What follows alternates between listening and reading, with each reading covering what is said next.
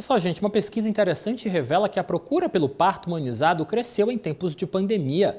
A gente fez matéria sobre o assunto e ainda fala sobre os benefícios desse tipo de parto para mãe e filho. Acompanhe.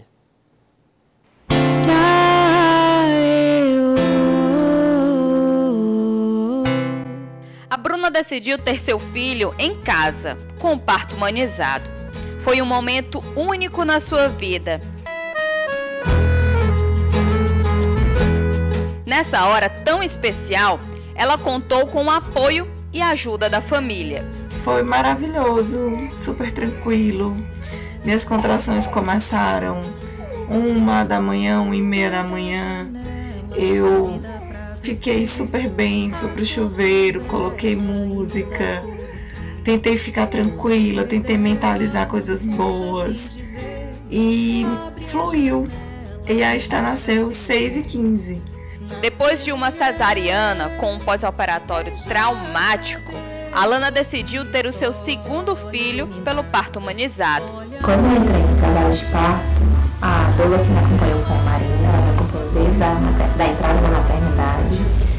Ela e minha mãe foram essenciais para o momento, me transmitiram muita força e confiança, me ajudaram muito. E eu consegui meu parto normal, um ano e sete meses pós-cesárea. Foi um parto tranquilo, uma recuperação tranquila e eu me senti muito realizada porque eu consegui cuidar da minha filha logo ali, né? logo após o parto, coisa que eu não consegui no meu primeiro parto, que foi cesárea. Por conta da pandemia e do isolamento social, a procura pelos partos em casa aumentou 200% no país. Isso são dados da Agência Nacional da Saúde. E aqui no estado não é diferente. Cada vez mais mulheres têm buscado esse tipo de informação e esse tipo de acompanhamento por conhecer e tomar conhecimento cada vez mais dos benefícios que o parto normal pode trazer, tanto para a mãe quanto para o bebê.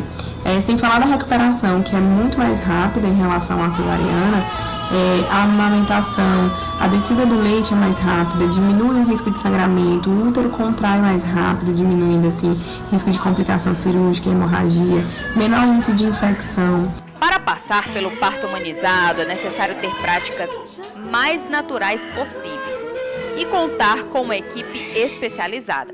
As doulas são importantes no processo. A gente prepara essa gestante e o acompanhante para todo o processo de trabalho de parto, para que eles entendam como funciona é, todo esse processo do parto, as contrações, né? Tudo isso. Então, ter uma equipe que apoia e acolhe é fundamental. De acordo com os profissionais da saúde, o parto humanizado dá para a mulher um processo mais rápido de recuperação.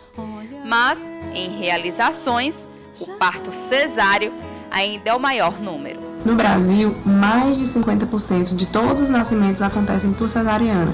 Quando a gente fala em rede particular, é, esses números aumentam, chegam perto dos 90%. Então, assim, é muito, é, são taxas muito elevadas.